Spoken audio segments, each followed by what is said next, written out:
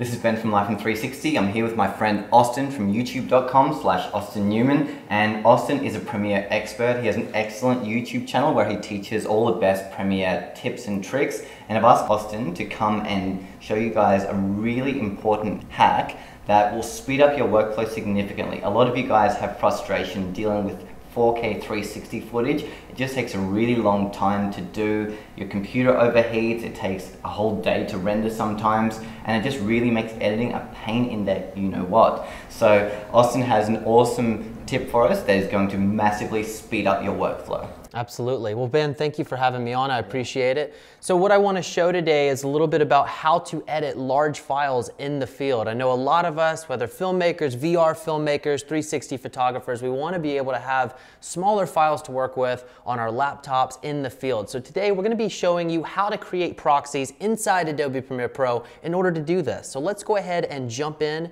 and we'll show you how you can create these proxies.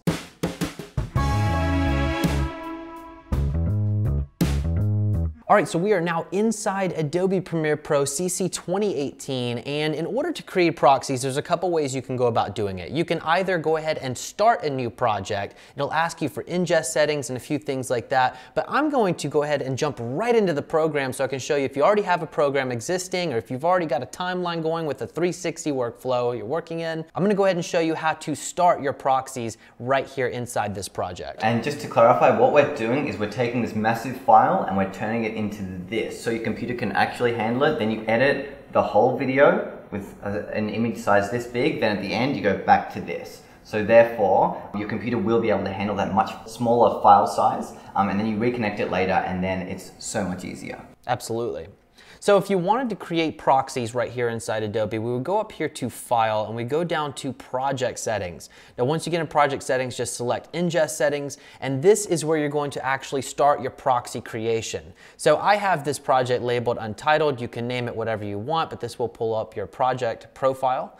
The next thing you want to do, you may be in general, scratch this, but you want to be inside ingest settings. Now ingest, what this is going to do is, as Ben said, it's going to create these video file proxies from your original footage. So you'll have a 4K video file. This is going to create a temporary proxy, something, for example, what we have here is 540p. So something much smaller that your computer can handle out in the field. And once you're ready to export, it's going to reattach that 4K clip and export as it usually would. So if we're to go ahead and create that, let's go ahead and check this box for ingest settings here. Now there's a couple things we can do. We can either copy, transcode, create proxies, or we can copy and create proxies. In this case, we're gonna be creating proxies. So I'll go ahead and select that. The next thing you're gonna go to is your preset. This is going to be the actual proxy preset that you're gonna create.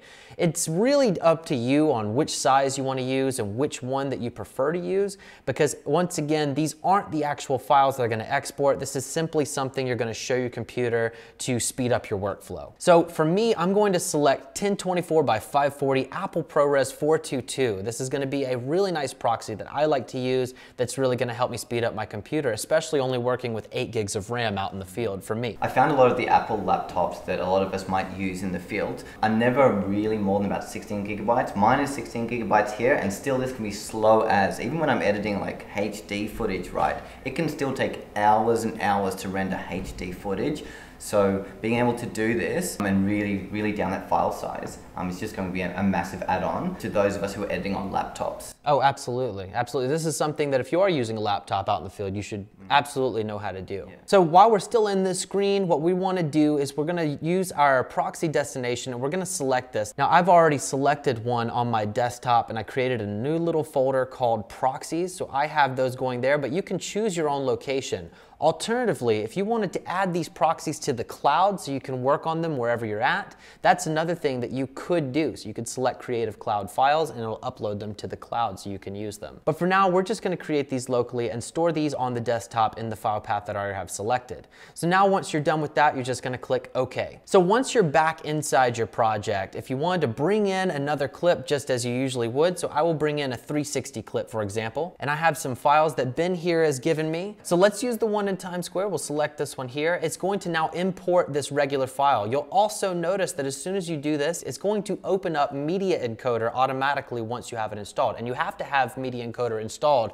in order to do this. What Media Encoder is going to do is it's going to create that proxy and export that proxy in the background. So no worries, you can continue working on your project. And once this is complete, it's going to attach it inside Premiere and you're going to be able to start using that proxy. Yeah, that is really awesome because it means you can get straight away while the proxies are being created. Definitely a massive benefit to not have to wait for transcoding to happen before you get started.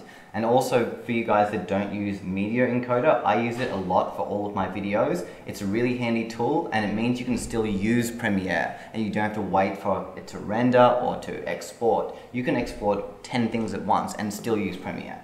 Absolutely. So if we're gonna just go ahead and pull this into our timeline, this is gonna create our new sequence based on these dimensions here, and this is fabulous footage. We're going to go ahead and use this, and we can edit as we like without interrupting the workflow whatsoever. Once this proxy is ready and attached, we can be able to stream through multiple clips of this same size right through the timeline. Once we're done, we'll just export as usual. There's no special technique or anything to it, so I would just do Command M if I wanted to export. That'll pull up my export window, and then you export with the same settings that you would with any other video. Something crucial to remember is that with 360 footage, you're not working with a normal 16 by 9 aspect ratio. You're working with 2 to 1. Therefore, it's very smart to export the exact same dimensions as your original footage. There are also, I noticed in Premiere 2018, there are now VR presets that give you dimensions of that equirectangular. So just remember that, export at 2 by 1, not 16 by 9. Cool guys, I hope you enjoyed this tip. Really, this has the power to speed up your workflow significantly. Remember, whenever you can speed up your workflow or remove one part of it, it means you're going to have more time shooting. And for me, I don't know about you, but my favorite part of the workflow is the actual shooting, not waiting for the damn computer to render and export. Like it drives me nuts. Sometimes I want to throw my laptop out the window. So being able to do this, I know it's going to save me so much time and frustration because personally, as a shooter, I spend more time editing than shooting.